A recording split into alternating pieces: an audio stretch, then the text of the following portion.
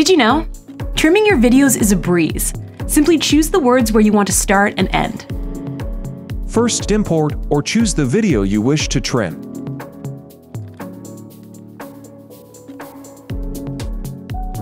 Once your video is selected, tap on Trim Video to start the process.